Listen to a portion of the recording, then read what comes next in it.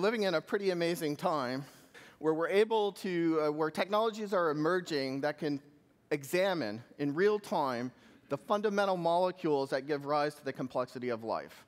Whether it's the machinery that synthesizes DNA or that translates or transcribes DNA into RNA or translates RNA into protein, these fundamental processes can now be observed in real time and for low cost so that we can now start scoring all of these sorts of traits, vast amounts of information at the individual level. And the low cost enables us to do this not just at the individual level, but in entire populations. And once we have this information, the promise, the hope is that we're going to be able to integrate all of that information, generate models that can actually predict future states of the system, understand the complexity of these living systems so that we can know, for example, how to better diagnose and treat uh, diseases. And one of the technologies that I've been involved in uh, at Pacific Biosciences has the ability to resolve down to a single molecule of DNA polymerase in real time by confining it to a, to a tiny little nanowell that's about one thousandth the width of, of one of your hairs and observe it in real time as it's sequencing that DNA.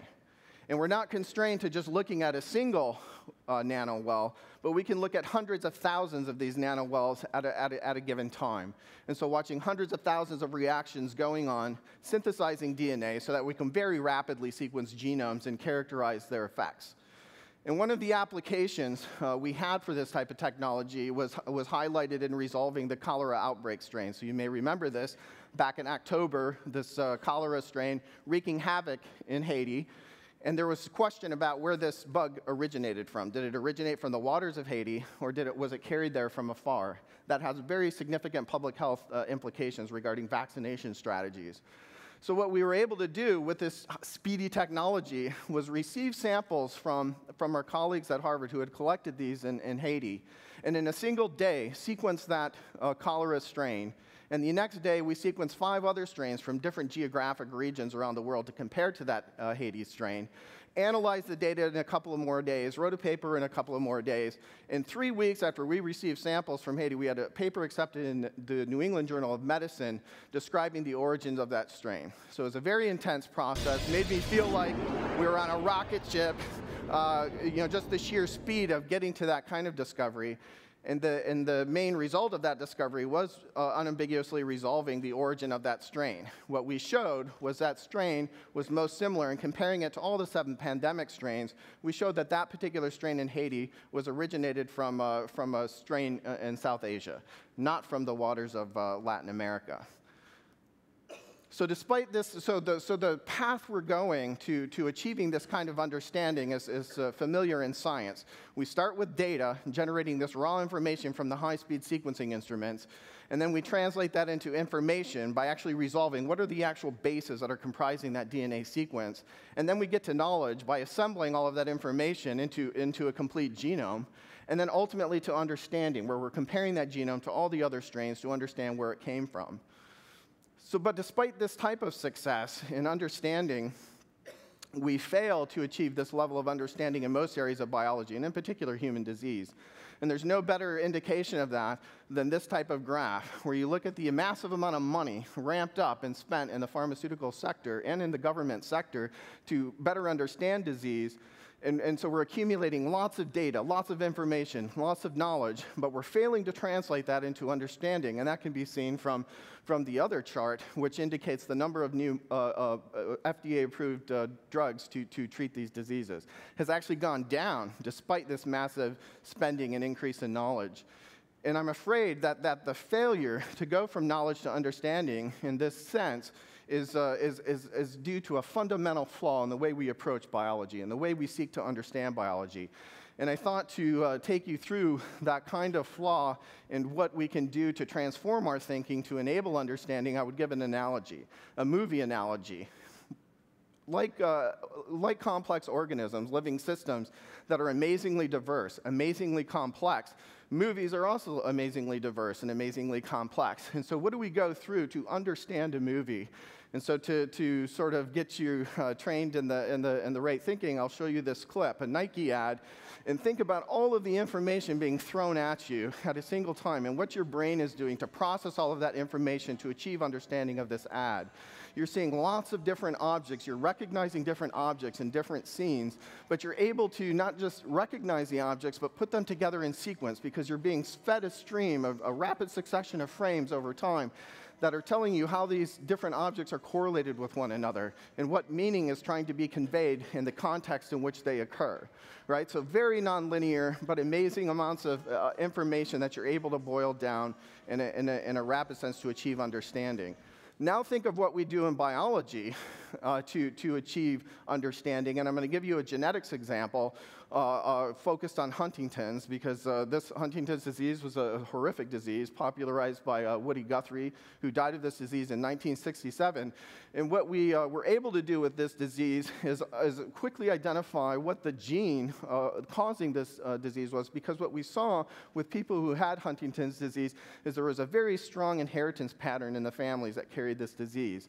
In fact, that pattern was so strong it correlated nearly perfectly with changes in DNA around the Huntington's disease locus, and so we were rapidly able to identify that gene. So we got to knowledge, right? We got to an understanding of the cause of the disease, but 30 years later, after that discovery, do we have understanding of that disease? We still don't know what the processes that are involved in causing that disease. We have no cure. We don't have any effective treatments. We haven't achieved understanding. And it's not hard to understand why we would fail to achieve understanding because now I'm going to take us to the movie analogy because genetics is simply giving you this gross aggregate, this gross average over a population. And you can no better understand the complexity of disease from that gross aggregate than you can understanding the clip that I showed from this image that I'm showing reflecting the clip. What this image is, is each pixel in each frame averaged over all the frames, averaged together so that you're seeing this gross aggregate of pixel intensities over all the frames presented as this image. And you can no better understand that clip by looking at this image than you can understanding the, the process of disease and how to treat and cure the disease from looking at single genetic effects. So the biologists will retort that this isn't so fair, that we don't just uh, use genetics to, to lock onto one gene, that we can understand the functioning of genes and how they relate to other genes. And that's, that's true, but the mind is doing it in a very simplistic, very linear fashion. And to show you why that's true, I'll lock onto another disease uh, that's treated with rosiglitazone, so type 2 diabetes. And here's the kind of story you're going to have presented to you in the scientific literature about how rosiglitazone treats a very complicated disease like type 2 diabetes. What's the effect of that drug? Well, we know the effect of the drug is to target PPAR gamma. So it activates PPAR gamma. And what I know when PPAR gamma gets activated are hundreds of genes change, even thousands of genes, depending on the context. Yet the story that's going to be told to you in the literature is that PPAR gamma is activated by, by rosiglitazone. It goes on to affect another gene, ABCA1. That goes on to affect uh, cholesterol regulation, and then on to stimulating insulin secretion to treat the type 2 diabetes. But this is no more of an understanding, given you don't understand the context in which any of this is occurring, than trying to understand the clip I showed you by now a little more sophisticated uh, method. You're not looking at a gross average. Here I've taken a single one dimensional line through the frame, and what you're looking at in this plot are the pixel intensities through all of the subsequent frames. It's more information, right? You're, you're understanding more about how the scenes are changing, but you're not going to achieve understanding from that kind of view. And the reason is that there is no such thing are linear, simple linear pathways in biology. That all of these different variables that make up living systems are interconnected in very complex ways. The DNA, RNA, metabolites, proteins, they interact in highly nonlinear uh, complex ways to form networks. And these networks don't act in isolation, but they're acting as a, as, a, as a system of networks of networks.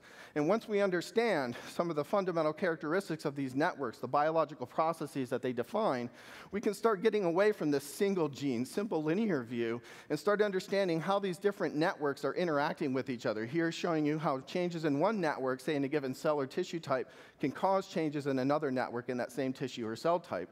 But we're more complicated than single cells or tissues, right? We're made up of lots of different organs. So the type of modeling we need to move towards is not only looking at how these networks are interacting within a given tissue, but how are they interacting between the different tissues. And from this sort of modeling, we're going to achieve uh, an increased level of understanding. And so the problem is going to be our minds are going to fight us every step of the way, right? Our minds are going to fight us because our minds are wired for storytelling, not statistical uncertainty. And we see this throughout human history, whether it's Zeus the sky god throwing down bolts of lightning when he's angry, whether it's the earth being the center of the universe, or whether it's the uh, earth being flat, or whether it's biological processes being driven by simple linearly ordered pathways, these are the kinds of simple stories we make up to explain complex things we don't really understand. And the way we're going to fight this want to tell stories is through technological innovation and appropriate application of that innovation. So, whether it's Galileo and the telescope resolving the mysteries of the universe, or whether it's cool new technologies like that from Pacific Biosciences to take ever deeper snapshots into these living systems to construct not only generate lots of information, but to appropriately integrate it to come up with models that can actually predict states of the system. So again, the aim is we're going to take all of this information, we're going to integrate it in very mathematically sophisticated ways, and we're going to come up with models. We're going to depict these models as networks, but when you hear network, just think sophisticated mathematical model that's predictive.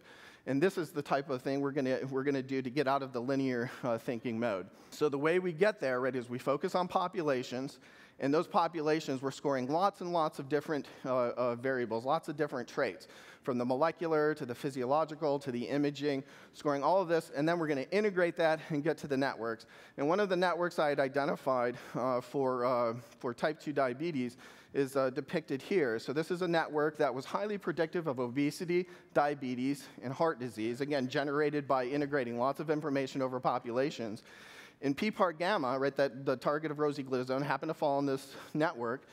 But look at this network. It's not, PPAR gamma is not interacting with a single gene like the literature is telling you ABCA1 to affect, uh, to affect type 2 diabetes response. It's interacting with lots of different genes, hundreds of different genes. That context is critically important if you want to achieve understanding in the action of that drug and the disease itself. So this takes us beyond that simple linear uh, uh, intensity plot that I was showing you earlier and gets us closer back to the movie analogy of seeing, you know, what's actually going on in this movie of life. It's not perfect, right? We're not going to be able to make out the entire understanding of this movie of life from this type of model uh, as a first instance. It's got to be iterated, it's got to be refined and, and validated. But this is the type of process that's going to get us beyond this gross aggregate average and into the actual dynamic, fluid, context rich nature of, of uh, living systems given this type of information, we can now make more informed predictions about what to target to intervene in disease. So, for example, here I'm showing you uh, one uh, snapshot, one blow up of the network highlighting PPM1L, novel phosphatase gene, uh, being pursued as a target for type 2 diabetes. And what does our modeling say? What is this predictive, more holistic model saying? It's saying that if we downregulate PPM1L, remember this is all done in silico, all driven by the computer, red is your down, green is your up. And it says if we downregulate PPM1L, we're going to upregulate insulin, we're going to downregulate glucose, but we're also going to increase fat mass, and we're also going to affect genes that are involved in hypertension. So what the model is telling us is that we pursue this uh, as, a as a target. We're going to treat your type 2 diabetes, but we're going to make you fatter, and we may increase your cardiovascular risk. Now we go in and actually experimentally validate that computer-driven prediction and here's the validation. And just so now we go in and experimentally knock down this gene. And what we find, as highlighted in these graphs, is just as we predicted, the glucose uh, levels went down. But we also saw that the weight and fat mass went up. So the green curve are animals uh, who have the gene knocked down. They're getting heavier than the red curve, which are the animals, males, who have the wild type version of this gene. That weight difference is all due to fat mass. So they get fat just as we predicted, and the blood pressure increases just like we predicted as well.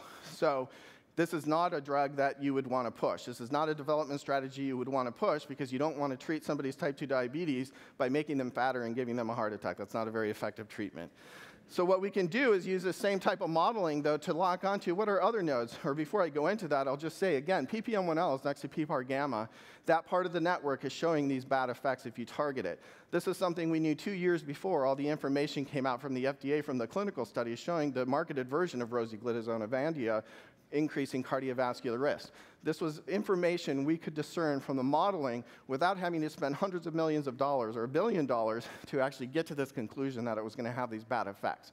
So again, this more holistic representation of information can get us to a more, uh, a better level of understanding. And we can now leverage this network to lock onto genes that are going to have systematically good effects. So here's another node that comes out of our network. And what we can do in silico is we can tweak every one of the nodes in that network and understand what are the causal regulators of this network? What are the, what are the treatment intervention points that are going to have systematically good effect if we, if we intervene and twist that network into a more natural state? So here we have P2Y4 14, again, our prediction is if you downregulate that gene, you're going to upregulate insulin, bring glucose down, lower LDL cholesterol levels, raise leptin levels, decrease fat mass, so systematically good effects. So based on the systematically good effects, we validated that experimentally, then went in and actually designed a drug to inhibit the activity of that, of that particular gene. And what you're looking at here are the graphs of that drug of animals on a high fat diet over a four week period of time. You're looking at percent weight gain over baseline. The red curve is on placebo. Uh, the, the blue curves are, are, ranges of low dose to high dose of the drug. And on the high dose of the drug, you see the curve, the animals are completely resistant to diet induced obesity. And actually below that pink curve, which, is, which are animals on a normally lean, healthy diet. So this seeming to say if you knock this gene down and you eat at McDonald's every single day, you're going to look better than your vegan friends if, if you have that gene knocked down. That's pretty cool. All right, so just to wrap up, then we have, again, the main idea was removing our linear thinking, moving from the linear to the nonlinear. We started with DNA, showing how if you're just looking at that one dimension of data, you're not going to resolve an understanding of these complex diseases because it's not DNA that directly causes disease.